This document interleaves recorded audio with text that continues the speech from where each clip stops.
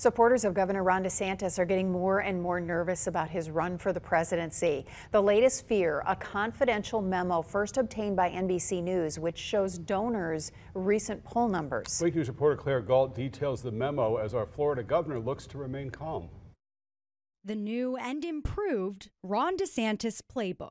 The Florida governor sent this memo to donors. Someone leaked it to NBCNews.com. The message the best is yet to come. This is just DeSantis' team making sure that their donors and that their um, big supporters know that they have a game plan that will get them through to a victory at the convention.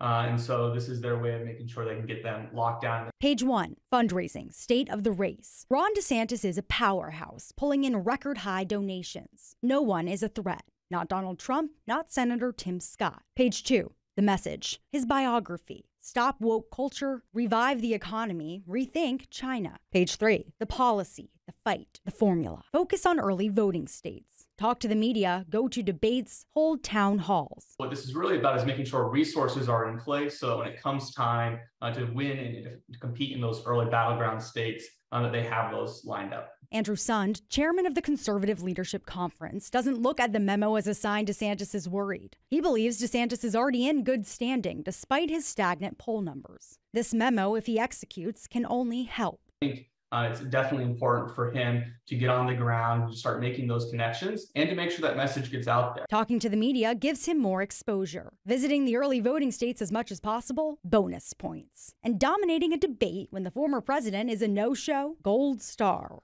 want a candidate who is capable and is willing to fight for them. And I think any candidate who's not willing to show up on a debate stage and talk about the ideas, I think that's a turnoff for the voters. And DeSantis makes it clear in the memo he plans to show up everywhere. Claire Galt, WINK News.